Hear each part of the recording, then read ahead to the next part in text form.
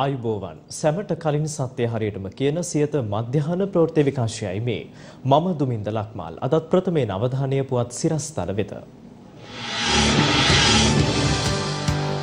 මාස දහයකට පසු ගුවන් තොටුපළ සංචාරක කටයුතු සඳහා යළි විවෘත කෙරේ. පළමු වාණිජ ගුවන්යානයේ කටුනායකට හැටන් එකම පවුලේ හයකටත් කොවිඩ්. මෙරට සමස්ත කොවිඩ් ආසාදිතින් සංඛ්‍යාව පනස් පන්දහසේ සීමාව ඉක්මවයි.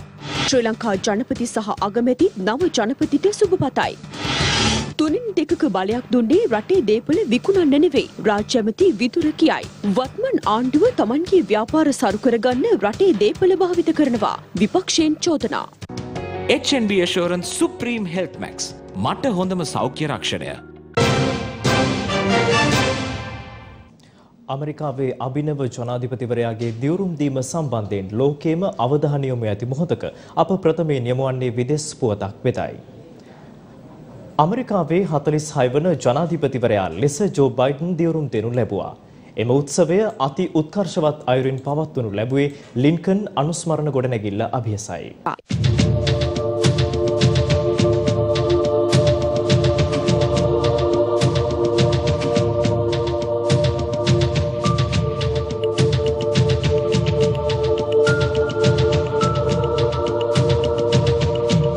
අතර ශ්‍රී ලංකා ජනාධිපති ගෝඨාභය රාජපක්ෂ මහතා සහ අග්‍රාමාත්‍ය මහින්ද රාජපක්ෂ මහතා ඇමරිකාවේ 46 වන ජනාධිපතිවරයා ලෙස තේරිය පත් වූ ජෝ බයිඩන් හට ට්විටර් පණිවිඩ නිකුත් කරමින් සුබ පැතුම් එක් කර තිබෙනවා.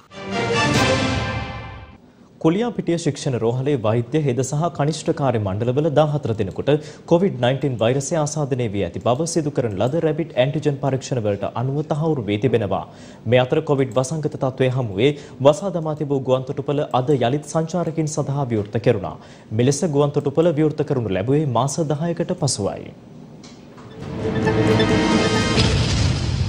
ශ්‍රී ලංකාව යළි වාණිජ ගුවන් ගමන් සඳහා විවෘත කිරීමෙන් පසුව පළමු වාණිජ ගුවන් යානය අද උදෑසන කටුනායක බණ්ඩාරනායක ජාත්‍යන්තර ගුවන් තොටුපළ වෙත පැමිණියා.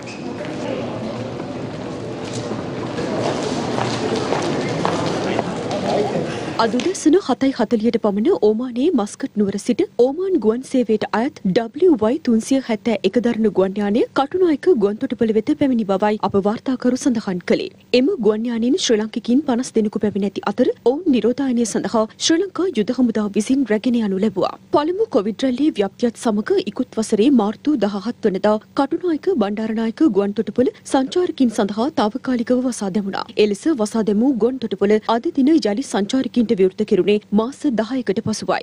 இப்போ இங்கே ஏர்போர்ட் வந்து எங்களுக்கு ஓப்பன் ஆகிருக்குது நான் லாஸ்ட் டைம் வந்திருந்த டைம் அதாவது லாஸ்ட் நவம்பர் வந்திருந்தேன்னா அந்த டைமில் வந்து ஏர்போர்ட் ஃபுல்லாக க்ளோஸ்ட் ஆகிருந்தது ஸோ பிசிஆர் டெஸ்ட் எல்லாம் வெளியில் தான் வச்சு எடுத்து ஏதோ ஒரு பயங்கரமாக வச்சு அனுப்பியிருந்தாங்க. பட் இந்த டைம் வந்து எல்லாமே ஓப்பனாகி இருக்குது. ஃப்ரீயாக வரக்கூடிய மாதிரி இருக்குது.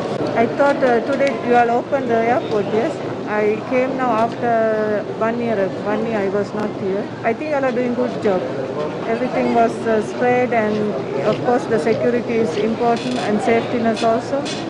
අද උදැසන වන විට මෙරටින් නව කොරෝනා ආසාදිතීන් හත්සිය හැත්තෑවක් හඳුනාගෙන තිබෙනවා. ඉන් පුද්ගලීන් හත්සිය හැට අට දෙනෙක් දේශීය වශයෙන් හඳුනාගත් ආසාදිතීන්. ඊයේ දිනෙත් වැඩිම ආසාදිතීන් සංඛ්‍යාව වාර්තා වී ඇත්තේ කොළඹ දිස්ත්‍රික්කයෙන් වන අතර එම සංඛ්‍යාව දෙසිය හැත්තෑවක්. ඊට අමතරව ගම්පහ දිස්ත්‍රික්කයෙන් ආසාදිතීන් අසුවක් මාතර දිස්ත්‍රික්කයෙන් ආසාදිතීන් පනස් හයක් වාර්තා වී තිබෙනවා. ඉදිරි ආසාදිතීන් තුන්සිය හැට දෙදෙනා දිවයිනේ සෙසු දිස්ත්‍රික්කවලින් වාර්තා වුණා. ඒ අනුව මෙරට සමස්ත කොවිඩ් ආසාදිතීන් සංඛ්‍යාව පනස් පන්දහසේ සීමාව ඉක්මවා ගියා. ඒ අතරින් පුද්ගලීන් හතලිස් හත්දහස් දෙසිය දහහතරක් පූර්ණ සුවේ ලබා රෝහල්වලින් පිටව ගොස් ඇති අතර තව දුරටත් රෝහල්ගතව ප්‍රතිකාර ලබන සංඛ්‍යාව හත්දහස් හත්සීයක්. මේ අතර කොවිඩ් වෛරසය ආසාදනය වී මෙරට සිදු වූ තවත් එක් මරණයක් ඊයේ රාත්‍රියේ වාර්තා වීමත් සමග මෙරට සමස්ත කොරෝනා මරණ සංඛ්‍යාව දෙසිය හැත්තෑ හතර දක්වා ඉහළ ගියා. හැටන් දික්කොය නගර සභාව යටතේ පාලනය වන හැටන් ගාමිණීපුර ප්‍රදේශයේ එකම පවුලේ පුද්ගලීන් හය දෙනෙකුට COVID-19 වෛරසය ආසාදනය වී තිබෙනවා. ඔවුන් සියලු දෙනා නිරෝධායන මධ්‍යස්ථාන වෙත රැගෙන ගොස් ඇති බවයි අප වාර්තාකරු සඳහන් කළේ. පොළොන්නරුව දිස්ත්‍රික්කයට අයත් හුදකලා කරනු ලැබූ කදුරුවෙල නගරය දින පහළොවකට පසුව අද උදෑසන හුදකලා බවින් ඉවත් කිරීමට සෞඛ්‍ය අංශ පොලිසිය සහ හමුදා නිලධාරීන් කටයුතු කළා. බස්නාහිර පළාත තුළ අකණ්ඩ මෙහෙයුම් රැසක් ක්‍රියාත්මක වෙනවා අද දිනෙත්. ඒ මෙහෙයුම් අතර විශේෂයෙන්ම රාජ්‍ය සහ රාජ්‍ය නොවන ආයතන කම්හල් කාර්යාල පරීක්ෂා කිරීමේ මෙහෙයුම ඊයේ දිනේදී සෞඛ්‍ය බලධාරීන් සහ කොළඹ පාරිසරික අ, පොලිස් කොට්ටාශය නිලධාරීන් විසින් ආයතන 910ක් පරීක්ෂාවට ලක් කර තිබෙනවා. එයින් අ, ආයතන 807ක් අ, සෞඛ්‍ය රීති අනුගමනය කරලා තියෙනවා. ආයතන 103ක් සෞඛ්‍ය රීති වලට පරිබාහිරව කටයුතු කරලා තියෙනවා. ඔවුන් අදාළ ගැසට් පත්‍රය ප්‍රකාරව පහසුකම් සැලසීමක් සිදු කර නැහැ. එවැනි ආයතනවල පරිපාලකීන්ට විරුද්ධව නඩු පැවරීමට කටයුතු කරනවා. එම ආයතන 103 මෙරට මහජනතාව තුනෙන් දෙකක බලයකින් වත්මන් ආණ්ඩුව පත් කරගත්තේ දේපල විකිණීමට හෝ බදු දීමට නොවන බව රාජ්‍ය අමාත්‍ය විදුර වික්‍රමනායක මහතා පවසනවා. රාජ්‍ය අමාත්‍යවරයා මේ බව ප්‍රකාශ කළේ හොරණ ප්‍රදේශයේ පැවති උත්සවයකින් අනතුරුව මාධ්‍ය වෙත අදහස් දක්වමින්. මේ රටේ කිසිම දේපලක් පිටරටට විකුණනට අපි විරුද්ධයි. ආයෝජනය කරන්න එන්න පුළුවන්. ඒ ගැන කිසිම ගැටලුවක් නැහැ. හැබැයි ඒකත් ශ්‍රී ලංකාවේ ස්වෛරී භාවය, ස්වාධීනත්වය සහ අභිමානය වගේම මිනිස්සුන්ගේ ගෞරවයත් ආරක්ෂා වෙන විදිහටයි කටයුතු කරන්නට ඕනේ. ජනාධිපතිතුමා පත් කරගත්තේ මේ රටේ මහ ජනතාව.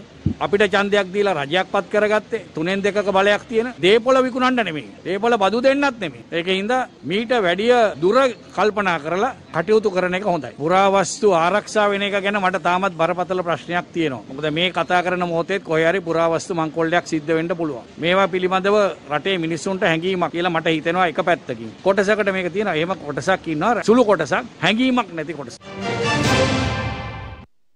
තම දෛනික ව්‍යාපාර පවත්වාගෙන යමින් ලාභ ඉපැයීම සඳහා වත්මන් ආණ්ඩුව මෙරට වටිනා සම්පත් යොදා ගනිමින් සිටින බව පාර්ලිමේන්තු මන්ත්‍රී චමින්ද විජේසිරි මහතා පවසනවා. ඒ කොළඹ පැවති මාධ්‍ය හමුවකට එක්වෙමින්.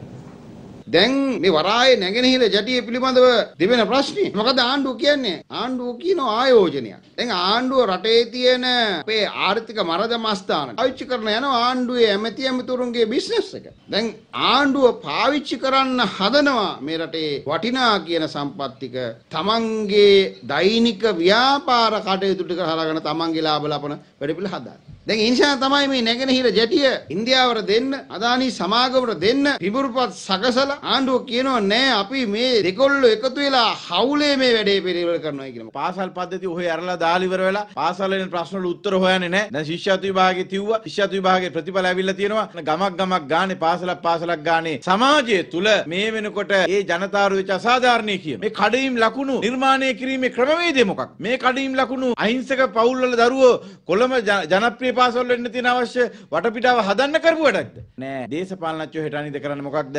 තමන්ගේ අවශ්‍යතාවයේ පරිදි දේශපාලනඥයෙක්ගේ ලයිස්තු යන්න පුළුවන් අවශ්‍ය ඉඩකඩ හදාගන්න තමයි මේ ශිෂ්‍යත්ව විභාගයේ මේ වෙනකොට පාවිච්චි කරලා තියෙන කියන චෝදනාව අපි ආණ්ඩුවට කරනවා. කවර පාලකයෙකු යටතේ වුවද නව ලිබරල් වාදී ප්‍රතිපත්ති රට තුළ ක්‍රියාත්මක වේ නම් එම පාලනය අසමත් වනු ඇති බව ජනතා විමුක්ති පෙරමුණේ ප්‍රධාන ලේකම් ටිල්වින් සිල්වා මහතා පවසනවා. මිනුවන්ගොඩ ප්‍රදේශයේ පැවති සම්මන්ත්‍රණයකට එක්වෙමින් ඒ මහතා මෙම අදහස් පළ කළා. සම්බන්ධට වරාය චීනට ගියපු ගමම්ම ඉන්දියාව කල්පනා කරනවා එතන චීන පෙළපදියම් ගන්න නම් ඉන්දියාවත් ලංකාවත් තැනක ඉන්න ඕන කියලා. ඒකට කියන්නේ බදු දෙනවත් නෙවෙයි නම් ඒකට කියන්නේ නවුම මොකක්ද? අපි යන්නේ උන්නෝක. කප්පන් දෙනවද ඒකට කියන්නේ? ඒක නම් ගැළපී කියලා අපි හිතනවා. ඉන්දියාවට බයලා දන ගහලා ඉන්දියාවට කප්පමක් හැටියට නැගින ජැටියෙන් කොටස් 109ක් දෙන්න යනවා. ඇයි ඒ මේ කලපේ බයලා ඉන්නේ. නිසා ගෝඨාභය රාජපක්ෂ මහත්තයලා හිතන් හිටපු කෙනා නැහැ. නිසා මේකට එක එක නායකයෝ මාරු කරලා හරියන්නේ නැහැ. මේ නව ලිබරල් වාදී ආර්ථිකය පවත්තන් යනවා නම් මොකා එක පවත්තගෙන ගියත් අසමත් තමයි. නිසා අපි වෙනස් කළ යුත්තේ නායකයා නෙවෙයි. මේ වැරදි සමාජ ආර්ථිකම වෙනස් කරන්න ඕන. ඒකට තමයි අපිට උත්තරයක් ඕනකම තියෙන්නේ.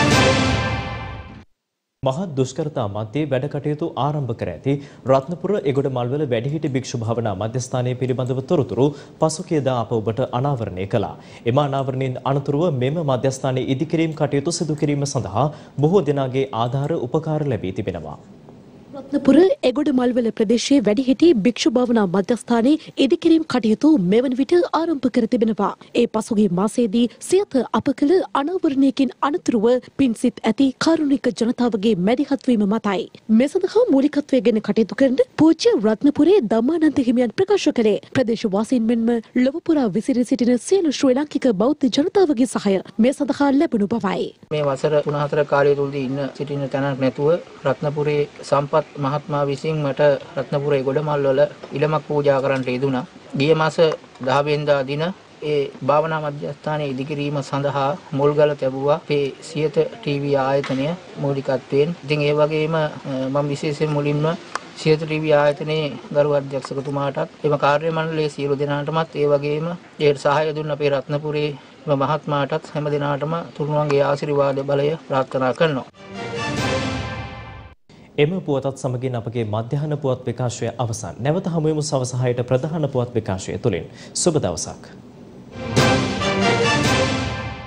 දිනපතා අලුත් වීඩියෝ සහ ප්‍රවෘත්ති නැරඹීමට ඉහත බටන එක ක්ලික් කර සියත TV සබස්ක්‍රයිබ් කරන්න.